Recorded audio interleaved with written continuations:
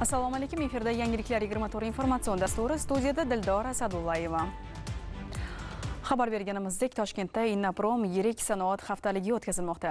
Investitsiyalar va tashqi savdo vazirligi hamda rossiya federatsiyasi sanoat va savdo vazirligi hamkorligida mamlakatimizda ilk bor tashkil etilgan nufuzli tadbirda rossiya fransiya germaniya chexiya yaponiya singari davlatlardan besh mingga yaqin ishtirokchi 300 dan ortiq kompaniya ishtirok etmoqda.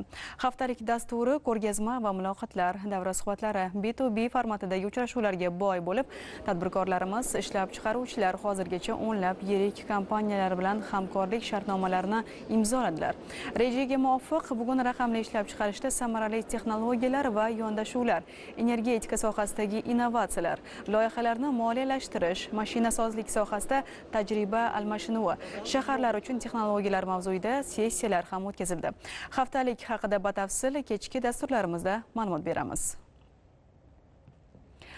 Davlat xizmatlari markazlari bir so'z bilan aytganda bugun aholining davlat idoralari orasida ovoragarchiliklarning oldini olishda muhim rol o'ynamoqda. Ayni kunlarda mazkur markazlar tomonidan 150 turdagi davlat xizmatlari ko'rsatilayotgan bo'lib qulaylik yaratish maqsadida ularning moddiy texnik bazasi mustahkamlanyapti. Yangi binolari qurilyapti.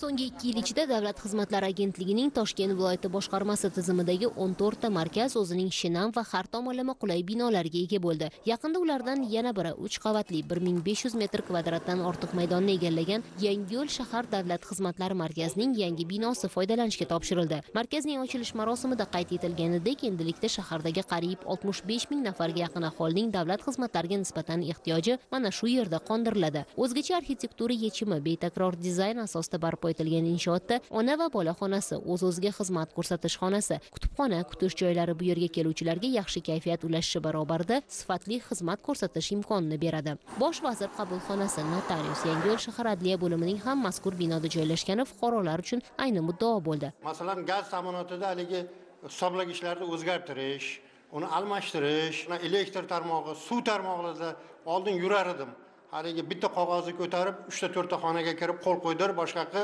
qilib mana hozir shu o'zi hammasi hal bo'lyapti. Hech qanday bu yerda haligi qiyinchilik ham yo'q tamagirlik ham yo'q korrupsiya elementlari ham yo'q. Tahlillar esa murojaatlarning asosiy qismini bolalarni maktabgacha ta'lim muassasasiga qabul qilish tadbirkorlik subyektlarini ro'yxatdan o'tkazish elektr gaz suv tizimlariga ulanish manzil ma'lumot axborotlarini taqdim etish kabi davlat xizmatlari tashkil etayotganligini ko'rsatyapti. Tasdiqlangan dasturga ko'ra bu yil viloyatning barcha tuman va shaharlardagi davlat davlat xizmatlari markazlari zamonaviy qiyofaga kiradi.